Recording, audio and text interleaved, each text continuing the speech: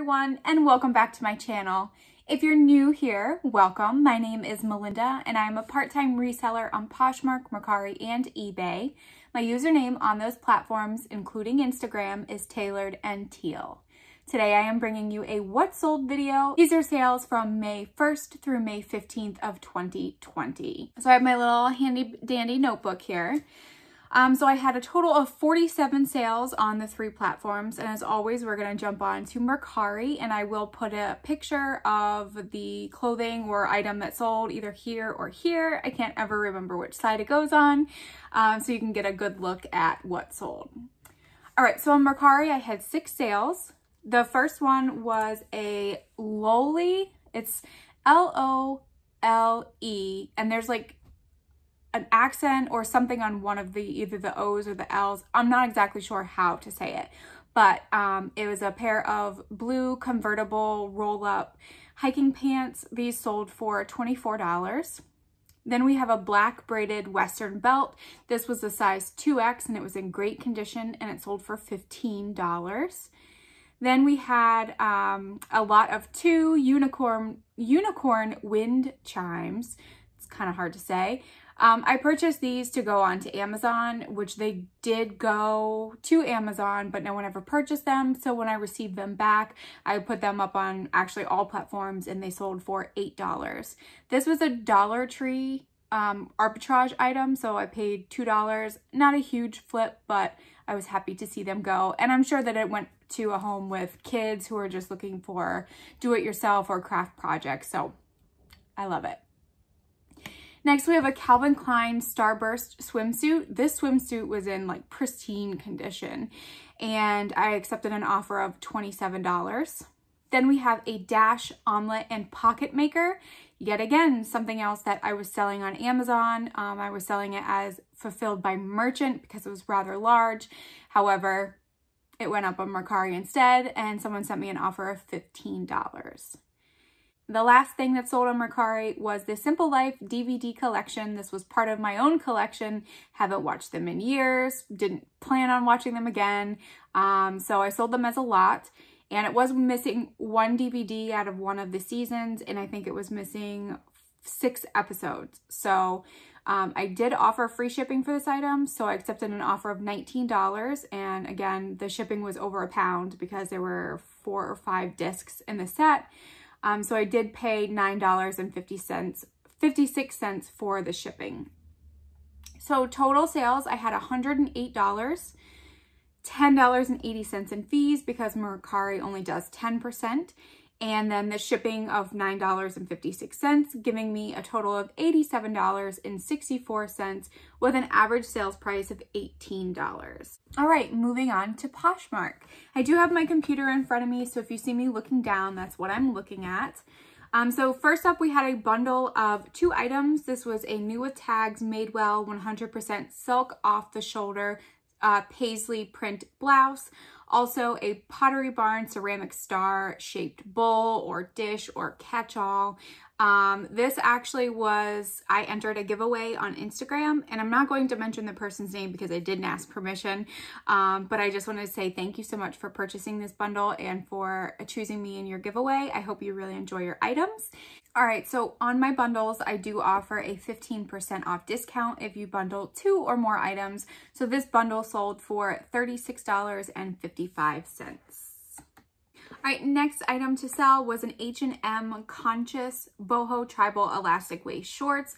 I've had these for a very, very long time, so I sent an offer for $11 and they sold. All right, then we have a One Clothing black and white bird print jumper. I had a cool crisscross in the back. Um, obviously, you'd want to wear a tank top or something underneath it because it does show on the sides. And it sold for full asking price of $16.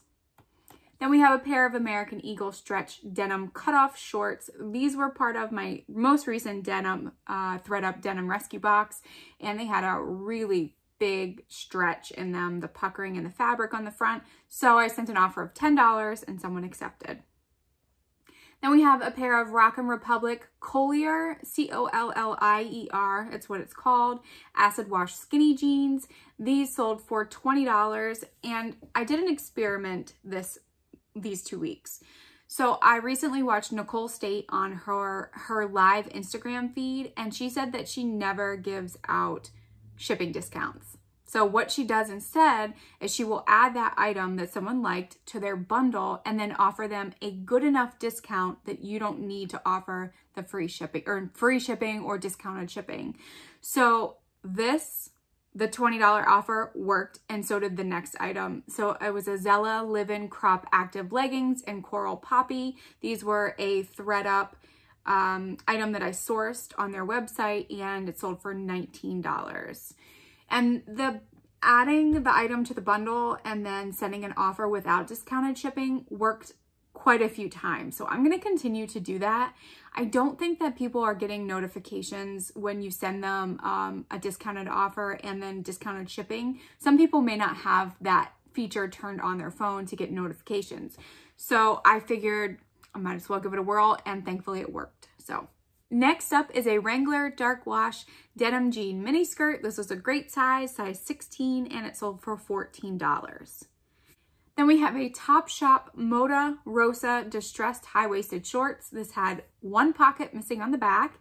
This was a Plato's Closet find. They were doing like 70 or 90% off of their clearance and I picked these up so my cost of goods was very low and they sold for $20. Next up is a French Connection side button pleated shorts. I also picked it up at the Plato's clearance sale and they sold for $17. And if you can't tell, shorts have been selling for me recently, and I'm sure probably for you too. Tis the season. Then this next one is interesting. So it's a pair of Lululemon navy blue pull-on sweatpants, no size tag, no care tag, nothing telling me it was men's or women's. This was in a ThredUp rescue box of the 25 pieces mixed items and I listed them. I did the best that I could with measurements and explaining them. They actually had two little holes in it. And while I was done listing them on Poshmark, I started to list them on eBay and someone sent me an offer of $13 within one minute of listing it on Poshmark. Um, since these were so low dollar for me because they were in a, red, a rescue box, I immediately accepted it. I did ask the customer just to make sure that you did see the small holes in the bag. And she said, yes, I saw, no problem. And off they went. So it was really surprising. Um, I have items that are Lululemon that don't have flaws in them and they've been sitting forever. So I might have just listed it at the right exact time that they were shopping and it just worked out that way. Next is a genuine tooled black leather turquoise gem belt. This sold for $15. This is an item that I did source from ThredUp during the whole quarantine thing that's still going on, at least where I live. Then we have a Gap long and lean medium wash jeans, size 10 long. These are from a denim rescue box again, and they sold for full asking price of $18. So next up, another ThredUp rescue box. This was in my 25 mixed items and it's an and other stories black button front shirt dress. I believe someone told me that this was sold at Neiman Marcus or one of those high-end department stores and it sold for $30. Then we have a Gaiam organic cotton Have a Namaste uh, graphic t-shirt. This came in a lot that I purchased a long time ago, so I was happy to see it go for $10. All right, so Poshmark, I don't think I mentioned this earlier, but I had 14 sales. Of those 14 sales, I made $249.55. I had $52.46 in fees. I did give out three shipping discounts of $6.36 total, and that was before I started doing the bundling and then sending an offer, but I will no longer be giving my money away through shipping discounts. It just, I don't know, this bundling thing seems to work better. And so that gives me a total of $190.73 with an average sales price of $17.83. Moving on to eBay. So eBay, I had 27 sales. So I might go through these quite fast just to get through it so that this video isn't forever. All right, so 27 sales. First up, we have a Chico's tie-dye blue and yellow kimono open front cardigan. This was like a very light gauzy material and it sold for $13.50. Then we have this mauve desert, at least that's what I called it as the color, mauve desert. Um, high-low sleeveless balloon style dress. This had no, uh, it did have a care tag.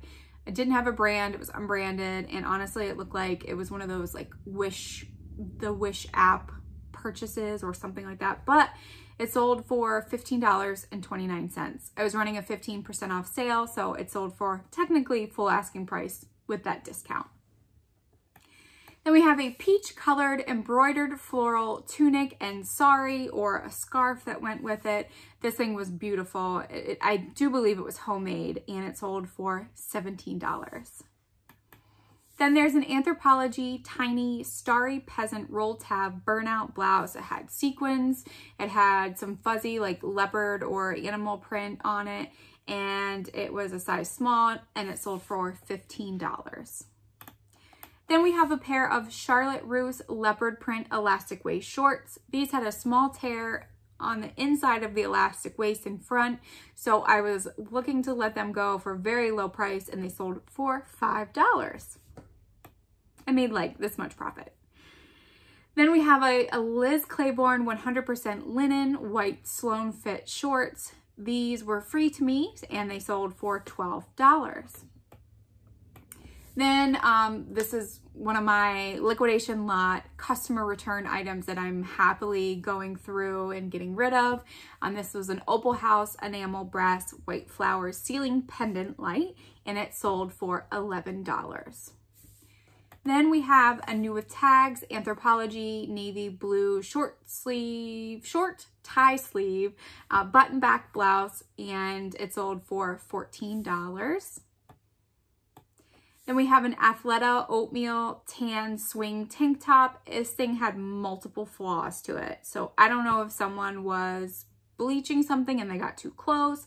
There were many snags in it, um, little white dots all over. So I listed it pretty low and it sold for $8.49, which is part of my 15% off promotion. Then we have a new tags J. Crew Factory Red Orange, reddish orange cap sleeve blouse. I thought that this was linen, but it actually was lyocell and viscose, viscose, uh, and it sold for $15.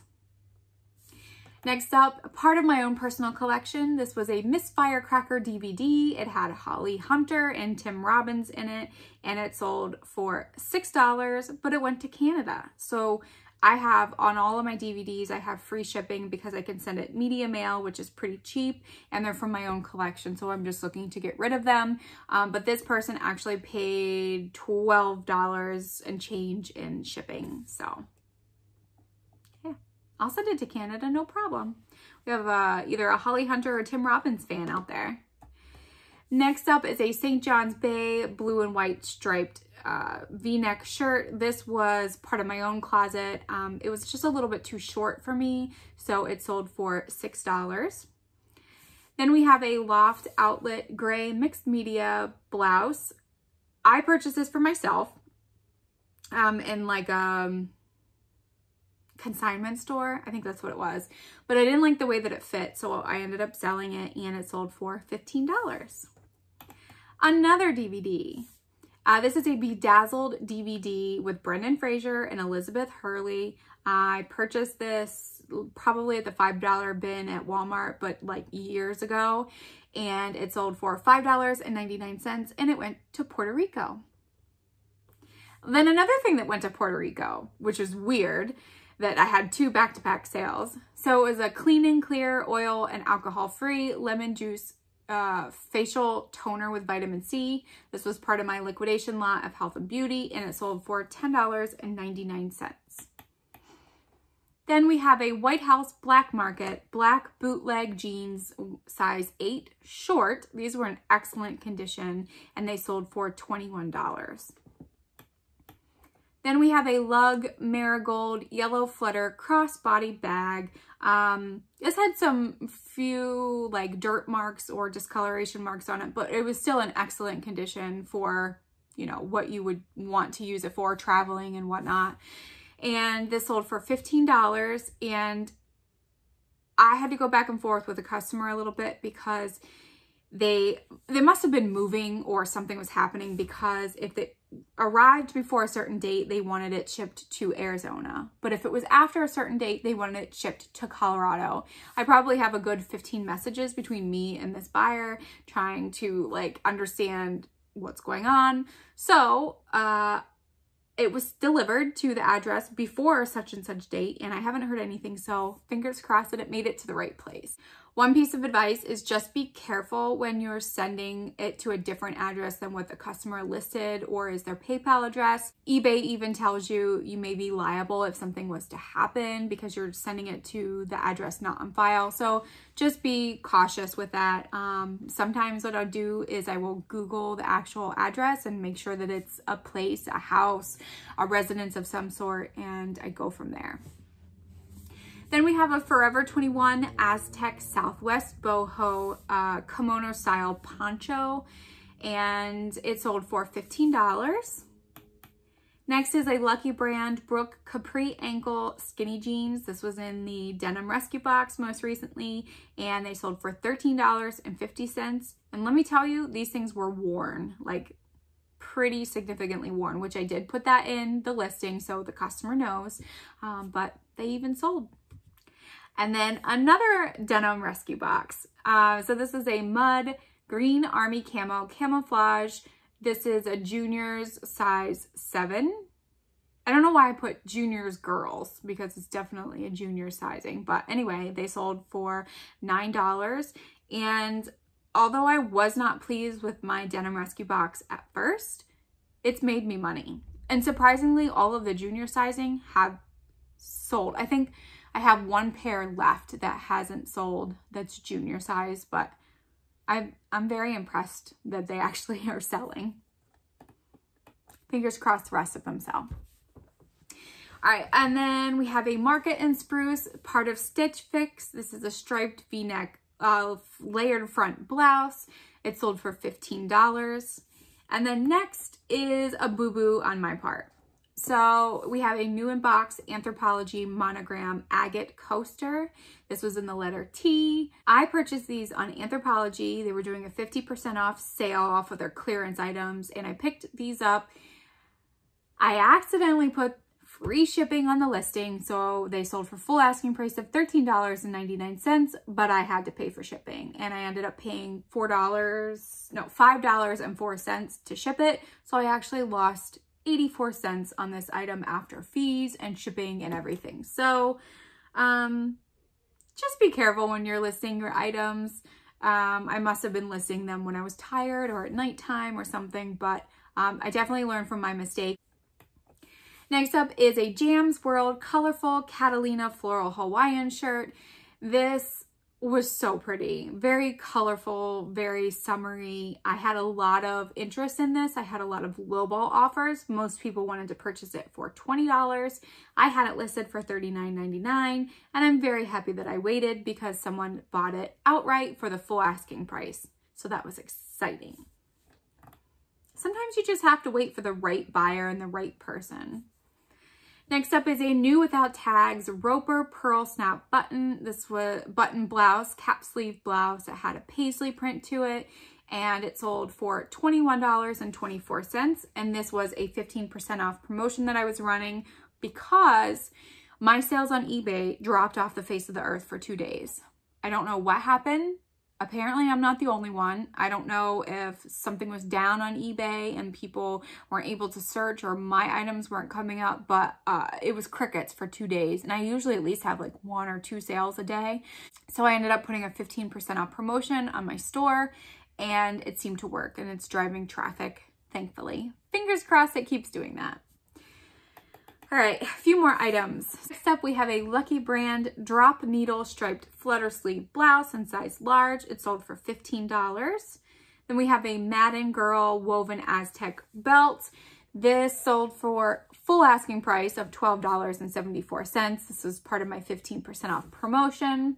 And then the last item we have is a Laugh Out Loud Always Juniors long tunic or mini dress, depending on how tall you were. And someone sent me kind of a low offer for $8, but I've had it for a while and it did not cost me much. So I accepted the $8 offer.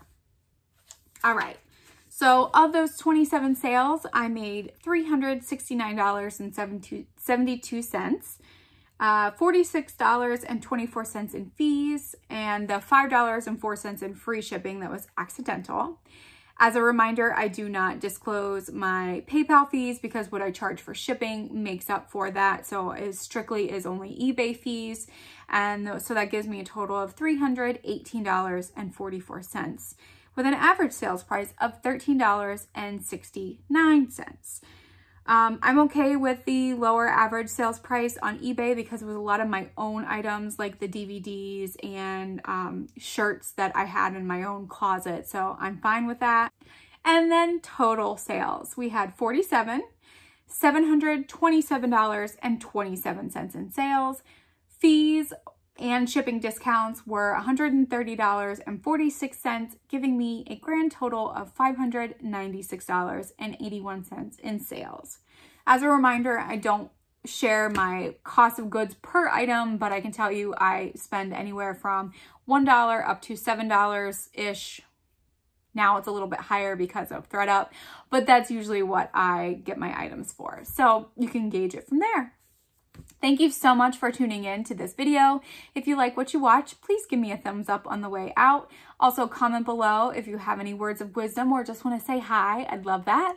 And if you haven't subscribed yet, please do consider subscribing. I try to put out videos at least once a week and I do these what sold videos every two weeks as well. So thanks again for joining and I'll see you in the next video. Bye.